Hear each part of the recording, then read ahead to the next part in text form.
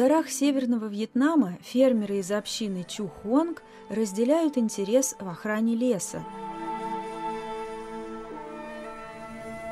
Совместно они сформировали лесную и фермерскую группу, управляющую плантацией магнолиевых деревьев.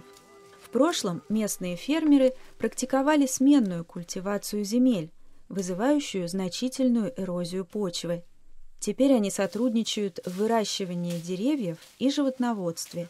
В период лесозаготовок они получают ценную информацию о текущих рыночных ценах на древесину с тем, чтобы выторговать более выгодные условия для себя у посредников. Chưa có dự án thì chúng tôi bán thì khoảng là tầm 400 400 trên một mét khối. Nếu mà bình quân thì vào khoảng là tầm 600 thế này thôi.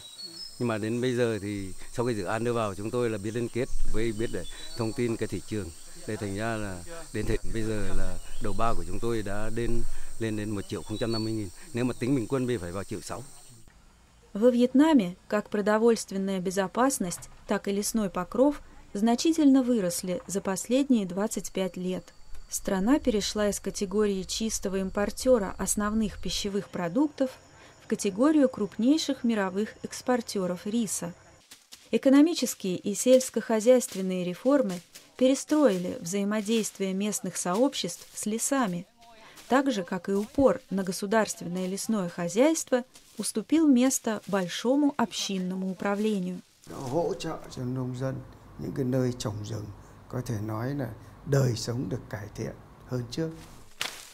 Нгуэн Тхи Май Хью ухаживает за двумя гектарами плантации деревьев акации на севере провинции Янбай. Она со своими односельчанами получает займы и техническое содействие в управлении мелким лесохозяйственным предприятием. Thưa anh thì đối với bản thân tôi ấy, thì tôi nhận thấy là à, thời điểm như hiện tại bây giờ ấy là được bà con nhân dân và chính là gia đình nhà tôi ấy thì được trồng cây là phủ xanh đất trống và cái độ che phủ của rừng ấy là rất là tốt nên à, đối với tôi thì nhìn à, nhận là thấy cái môi trường hiện tại С ростом доходов лесной покров также вырос с низкой отметки 29% в 90-х годах до 48%. Và chúng ta đã có thành tựu rất lớn đó là cái rừng trồng được tăng lên rất mạnh đến hơn 3,5 triệu hecta rừng trồng được tăng lên trong vòng 15 năm và cái sản lượng gỗ cũng tăng lên rất mạnh. Cái sản lượng thì tăng trưởng bình quân từ cái chỗ 7 đến 8 mét khối trên năm thì hiện nay lên đến, đến trên dưới 15 mét khối gỗ trên một năm, có những nơi có thể lên tới 40 mét khối gỗ trên một năm.